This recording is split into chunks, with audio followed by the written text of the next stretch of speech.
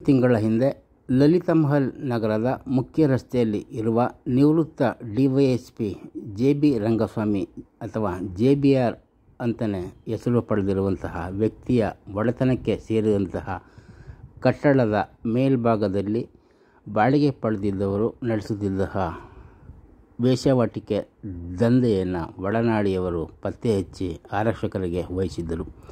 ಆ ನಿವೃತ್ತ ಅಧಿಕಾರಿ ಇದಕ್ಕೂ ತನಗೂ ಸಂಬಂಧ ಇಲ್ಲ. ಆ ಕಟ್ಟಡ ನನ್ನದಲ್ಲ, ನನ್ನ ಪತ್ನಿಯ ಹೆಸರಿನಲ್ಲಿ ಇರುವಂಥದ್ದು.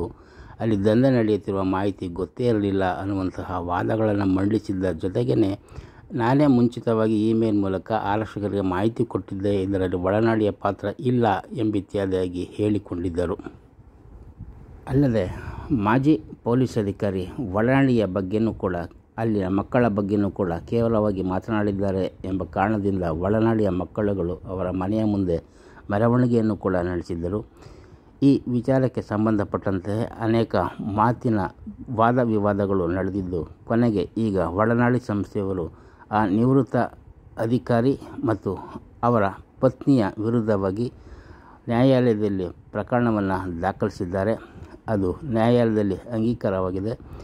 ತಕ್ಕ ಸಾಕ್ಷಿಗಳು ಮತ್ತು ಆ ಬಾಳಿಗೆ ಪಡೆದಿದ್ದಂತಹ ಸ್ಥಳದಲ್ಲಿ ನಡೆಯುತ್ತಿದ್ದಂತಹ ಅವ್ಯವಹಾರಗಳು ಮತ್ತು ಮಹಿಳೆಯೊಬ್ಬರನ್ನು ಬೇರೆ ರಾಷ್ಟ್ರಕ್ಕೆ ಕಳುಹಿಸಲು ನಡೆಸಿದಂತಹ ಹುನ್ನಾರಗಳ ಬಗ್ಗೆ ಸ್ಪಷ್ಟ ದಾಖಲಾತಿಗಳು ತಮ್ಮ ಬಳಿ ಇವೆ ಎಂದು ಒಳನಾಡಿಯವರು ಹೇಳಿದ್ದರು. ಅದೆಲ್ಲವನ್ನು ಈಗ ನ್ಯಾಯಾಲಯದ ಮುಂದೆ ಮಂಡಿಸಲು ಮುಂದಾಗಿದ್ದಾರೆ. ಹೀಗಾಗಿ ಮೈಸೂರು ನಗರದಲ್ಲಿ ಅತ್ಯಂತ ಕುತೂಹಲವನ್ನು ಕೆರಳಿಸಿದಂತಹ, ಹೆಚ್ಚು ಸುದ್ದಿ ಮಾಡಿದಂತಹ ನಿವೃತ್ತ ಡಿವೈಎಸ್ಪಿ ಜೇಬರ್ ಅವರ ವಿರುದ್ಧದ ಪ್ರಕರಣ ಈಗ ನ್ಯಾಯಾಲಯದ ಮುಂದೆ ಬಂದಿದ್ದು, ಅದರ ಸಂಪೂರ್ಣ ವಿವರವನ್ನು ಒಡನಾಡಿಯ ಮಿತ್ರರು ಇಂದು ತಮ್ಮೊಡನೆ ಹಂಚಿಕೊಳ್ಳಲಿದ್ದಾರೆ.